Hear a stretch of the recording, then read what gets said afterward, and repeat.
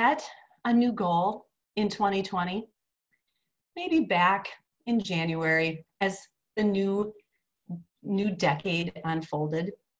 Or maybe, like I did, you set some new goals as our stay at home orders were issued and we entered an unprecedented season of fear and uncertainty.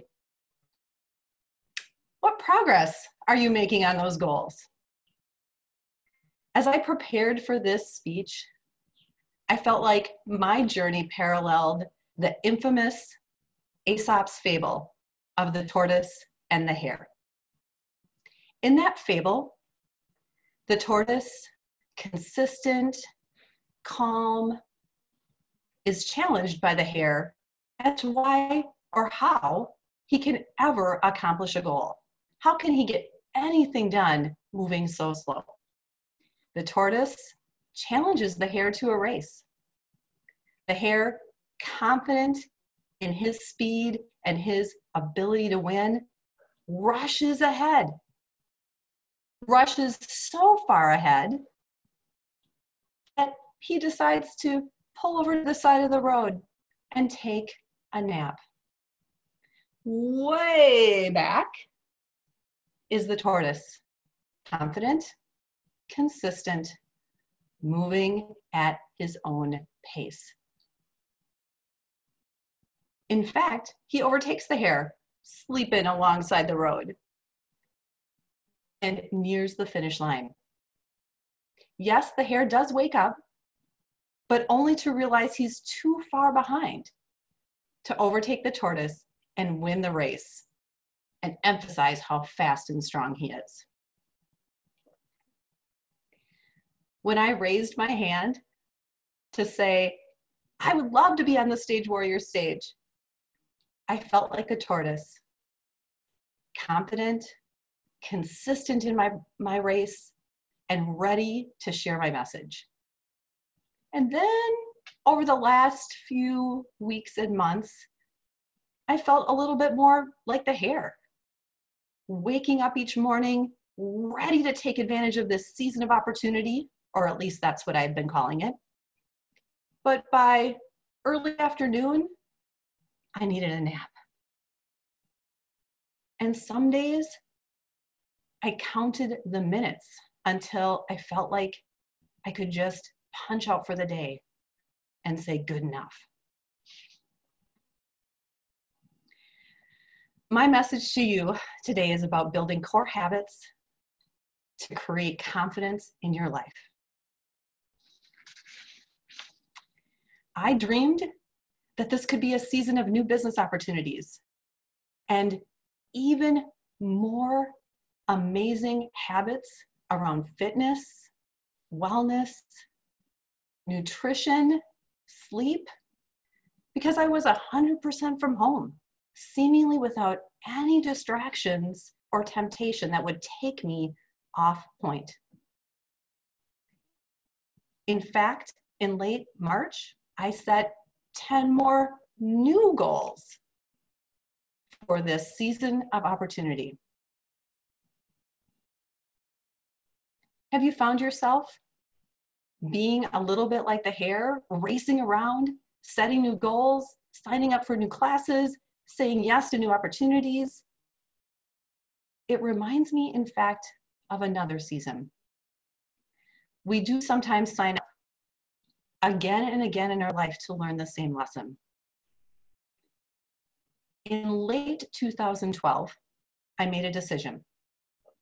I was working internationally for Mary Kay Cosmetics, traveling to Brazil to share their marketing plan.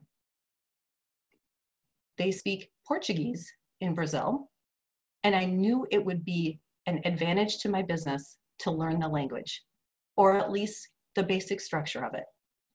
It's also January, and I lived in a very cold northwestern state.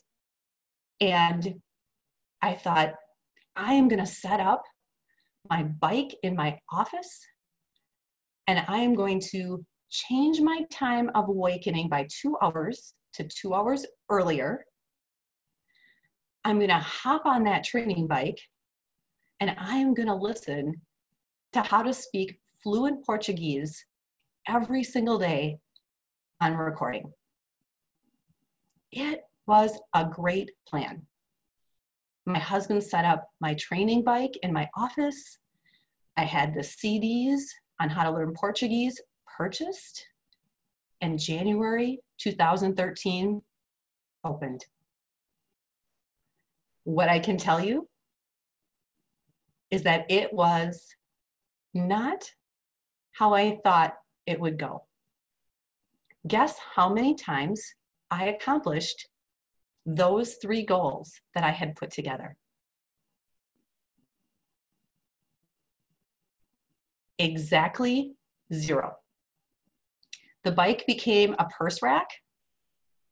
My fitness goals never took off.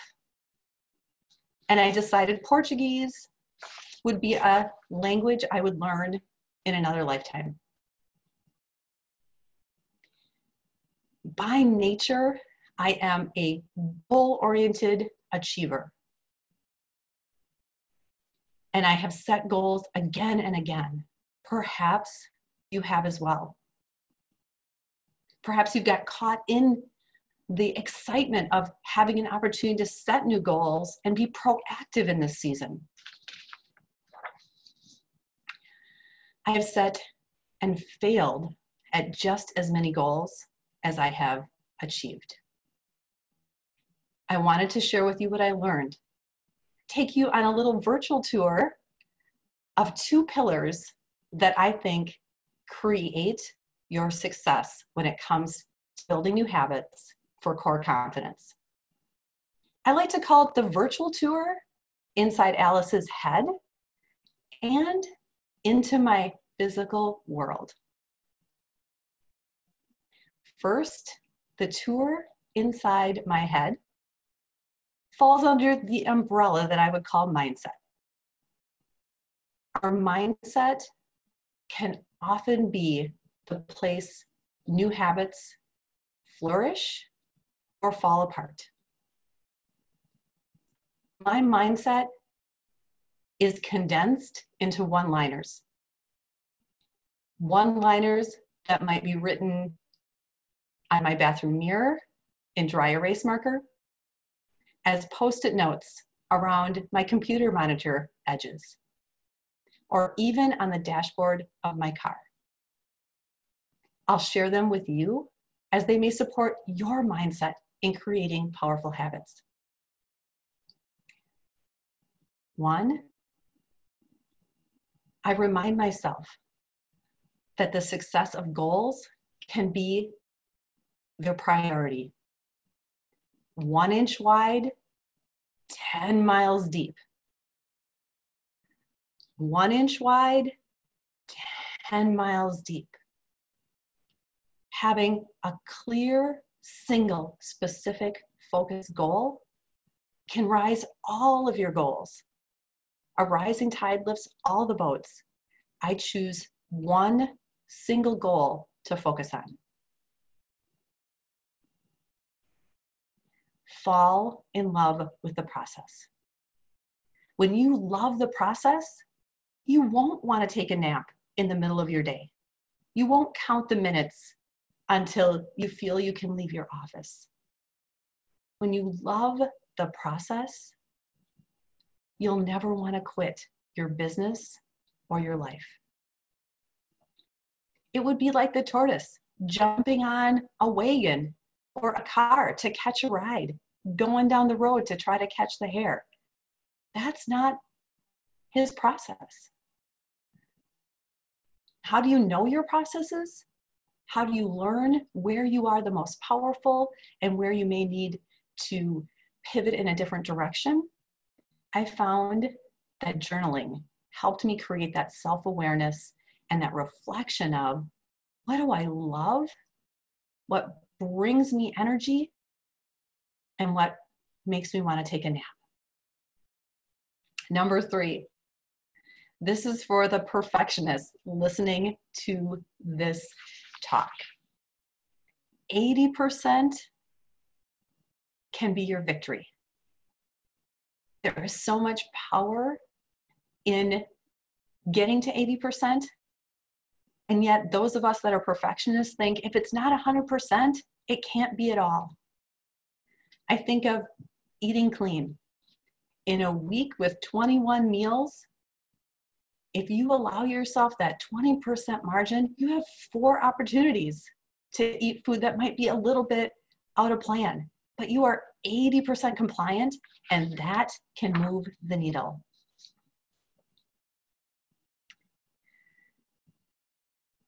It's only hard till it's easy. It's only hard till it's easy. Even if we love the process, we might find that we need to find a way to embrace the hard. And you choose your hard. When I was learning to eat in a different way and how to meal prep, it took focus and it took discipline and it took so much energy. I had to reprogram myself after 45 years how to eat differently. But within 18 months, I couldn't remember how I used to eat. I couldn't remember very clearly that I would set the goal to eat out every day for lunch. There was a new normal and it went from hard, hard, hard, hard, a little bit less hard, and then it became easy and it became without any effort. It became the new normal. It's like the difference between going uphill and going downhill and then being able to see the finish line. Last, stay on your path. The last mindset I have is stay on your path. The only failure in creating a new habit and a new lifestyle is quitting. You can start a diet in the middle of a bag of potato chips. And you can restart a diet there as well. Quitting is the only failure. So those are my mindset. Run your race. Make a change tips. And maybe you're listening to this speech because you recognize that you're ready to make some shifts, that you want to create new habits for core confidence. Let me share another story with you in contrast to my Portuguese biking, getting up early fail. Two years later, I found myself in the season of being an empty nester with a lot more time available, I decided to pursue a goal to compete in a bodybuilding competition. I didn't know what it would take. I only knew what the end result looked like because I had been secretly stalking some competitors for a few years. It's a sport that requires an immense amount of discipline. It's a sport that has very little room for error as you stand posing and flexing on stage in a really small, small amount of fabric in a bikini. It took dedication, determination, tracking ounces of food and water and hours in the gym. And when that season progressed, I fell in love with the process things that became hard became easier. One show became two, became three, became four. And even though I don't compete in that arena any longer, I know how to flip that switch on because I created not just mindset pillars, but also action pillars. This would be visiting a day in Alice's life. I want to share with you some of the strategies that I use daily to be able to stay strong in my habits, to be able to create confidence that allows me to pursue my goals with more ease and with more passion. I have notebooks everywhere. It is effective for me to write everything down. When I was learning to compete as a bodybuilder, I had an app that I tracked everything that my body did, ate, or drank in. I find that writing down those thoughts, those action steps create this total sensory experience. I think it, I feel it as I write it, I see it. And I will tell you that Google Calendar is my boss. And I commit all of the activities that are my focus for the day to my calendar. That might support you as well. I also know my process, and I want to share with you how I created this speech. I give speeches quite often, and it takes the most energy for me to begin. So I used a portion of this speech from a previous talk I gave. It allowed me to have a starting point, and then I used my most creative energy, which occurs between 7 and 10 a.m. for me, to write the majority of this speech. When I could see the end, where I could see I finish, see the finish line, I was like, game on, because I finished better than anyone else. Circle back to that journaling, to finding your process and falling in love with it. Creating visual cues.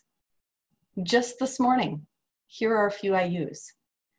Doing laundry, because I'm working from home, I close the door to the laundry room to know that there will be laundry in the wash machine to move in the dryer. As I woke this morning, I pair my second cup of coffee with my supplements so I don't forget. Second cup of coffee, supplements. I look for ways to pair twos and threes of action together. Have you ever gone to bed and forgotten to charge your phone or set your alarm?